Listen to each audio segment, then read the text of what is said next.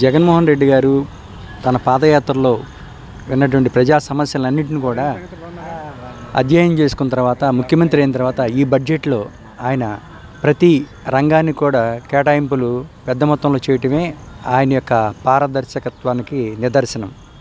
ప్ర- విద్య కానివ్వండి వైద్యం కానివ్వండి రైతాంగం కానివ్వండి బడుగు బలహీన వర్గాలకు సంక్షేమం పట్ల ఆయన ప్రతి కులానికి కూడా ప్రతి మతానికి కూడా మంచి అభివృద్ధి సాధించాలి. ప్రతి పేదవాడు కూడా విద్య పట్ల వైద్య పట్ల అన్ని రంగాల్లో కూడా ముందుండాలని అన్ని సంక్షేమాలకు పథకాలకు కూడా ఆయన బడ్జెట్లో కో- వేలాది కోట్ల రూపాయలు ప్రకటించడం అనేది చాలా హర్షణీయంగా భావిస్తూ ఈ బడ్జెట్ ద్వారా ప్రతి పేదవాడికి కూడా చాలా సంతోషంగా చాలా అభి తన జగన్మోహన్ రెడ్డి గారి మీద అచంచలమైనటువంటి విశ్వాసాన్ని ప్రకటిస్తున్నారని చెప్పి మేము భావిస్తూ ఉన్నాం.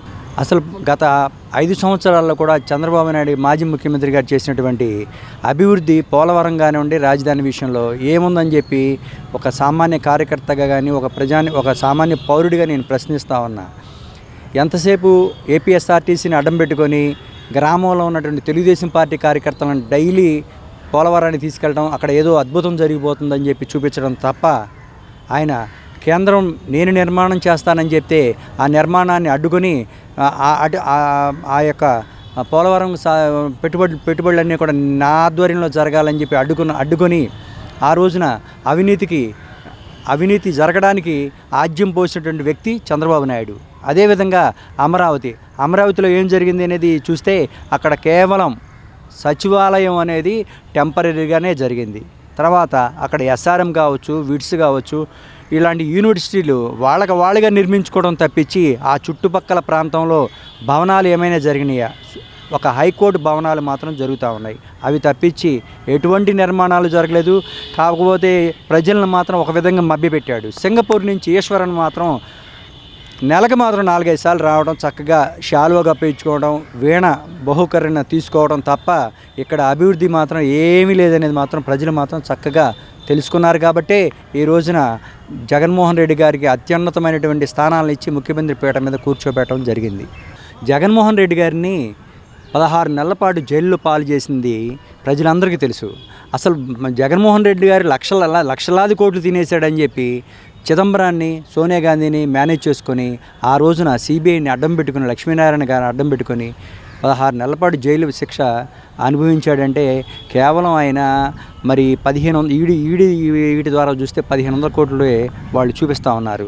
లక్షలాది కోట్లు ఆయన చెప్పడం ఏంటి? పదిహేను వందల కోట్ల రూపాయలేమో ఈ డిపార్ట్మెంట్ చెప్పడం ఏంటి? మరి ఈ రోజున సామాన్య ప్రజలకు కూడా తెలవాలి అసలు. ఈయన ఒక ఇరిగేషన్ డిపార్ట్మెంట్ ఒక నదీ పరివాహక పా- ప్రాంతానికి నష్టం పరిచేటువంటి స్థలంలో ఒక అక్రమ కట్టడంలో నివాసం ఏర్పాటు చేసుకొని ఆ నివాసానికి ప్రజాధనం వేలాది కోట్ల రూపాయలు ఆయన దానికి ఇంటి నిర్మాణానికి పెట్టుబడులు పెట్టడం అనేది అది చాలా జుగుప్సాకరమైన విషయం. ప్రజల డబ్బు ఏంటి? ఆయన సొంత ఇంట్లకి ఖర్చు పెట్టుకోవడం ఏంటి?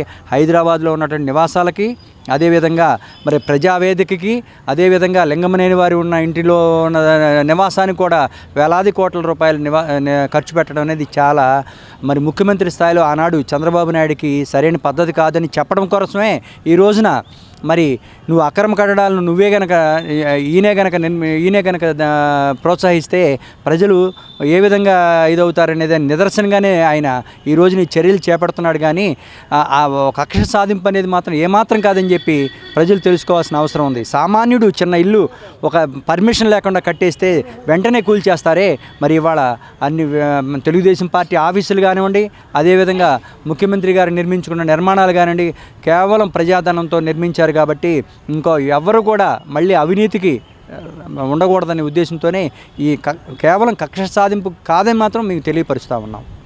కేంద్రంలో అత్యధిక మెజార్టీతో భారతీయ జనతా పార్టీ ఉండటం వల్ల ఆ అంశం అనేది ఈ రోజున ఇరవై రెండు ఇరవై ఇరవై మూడు మంది పార్లమెంట్ సభ్యులు ఇరవై రెండు మంది పార్ల పార్లమెంట్ సభ్యులు ఉండి ఆ అవసరం కేంద్ర ప్రభుత్వానికి ఉంటుంది. వారి యొక్క మెడలు వంచి మనం ప్రత్యేక హోదా సాధిస్తామనే ధీమా జగన్మోహన్ రెడ్డి గారు ఉన్నది. కానీ ఈ రోజున మరి వారు అత్యధిక మెజార్టీతో గెలవడం అనే దానికి ఉండడం వల్ల మా ఆంధ్రప్రదేశ్ యొక్క పార్లమెంట్ సభ్యుల యొక్క మద్దతు అంత వాళ్ళకి అవసరం లేకపోయిందనేది అందరి భావన. అయినప్పటికీ ప్రత్యేక హోదాయే ఈ రాష్ట్రానికి కావలసింది. బడుగు బలహీన వర్గాలు కానివ్వండి విద్యార్థులు కానివ్వండి పారిశ్రామికంగా కానివ్వండి అభివృద్ధి చెందాలంటే జగన్మోహన్ రెడ్డి గారి యొక్క నినాదమే ప్రత్యేక హోదా. ఆ ప్రత్యేక హోదాని మరి పార్లమెంట్ సభ్యులు అక్కడ ప్రస్తావిస్తానే ఉన్నారు. ఇక ముందు ప్రస్తావిస్తారు. సాధించే వరకు కూడా ఆయన నేతృత్వంలో కార్యక్రమాలు జరుగుతూ ఉంటాయి అనేదే మా భావన.